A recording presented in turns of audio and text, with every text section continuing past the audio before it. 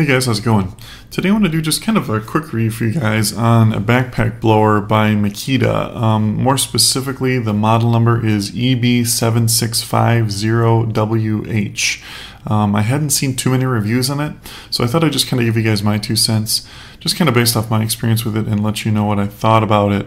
Um, I should also mention real quick too, I actually found a pretty good deal on this blower, and I'll put a link below in the description to that deal so you can check that out if you're interested in picking one up for yourself. So, what do I think about this backpack blower? Um, well, in short, I really like it a lot. Um, I think for the money, if you're looking for a very good quality backpack blower, this is the one to get. I'll talk a little bit more, uh, a little bit more about why I think that. One and probably the most important thing is the power that this thing has. It has a very, very strong 3.8 horsepower commercial duty engine on it. Um, it blows extremely, extremely hard to get some figures uh, for you, it has 670 cubic feet per minute of airflow.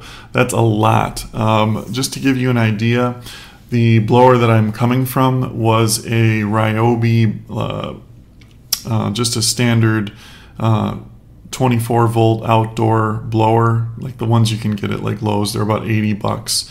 Um, that has a CFM rating of about 70. This is 670. So it's like almost 10 times as much air that it moves.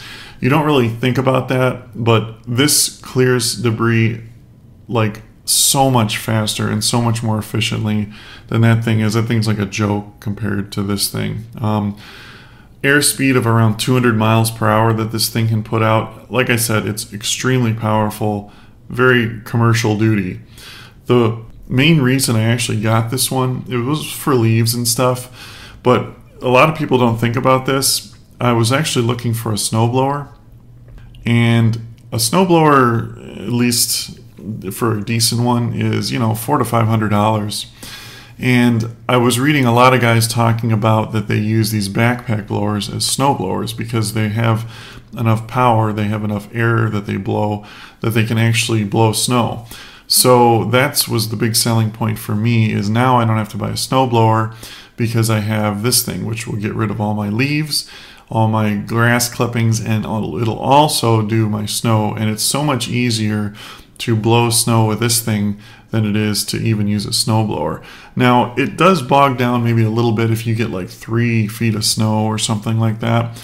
But for 95% of the snowstorms that we have, um, this thing works great. Completely gets rid of it uh, so much faster, so much easier. Works great. Um, it's very fuel efficient too um, for being as powerful as, as it is. Uh, it just basically just sips gas really, really slowly, which is nice. It is a Makita, uh, so you know the quality is, is going to be there. Very good quality, very easy to start. Starts on the first pull every single time. Fairly loud. You might want to get yourself a pair of uh, ear protection. Um, not a bad thing to be using anyway. Uh, but yeah, really like this thing. Highly recommend it.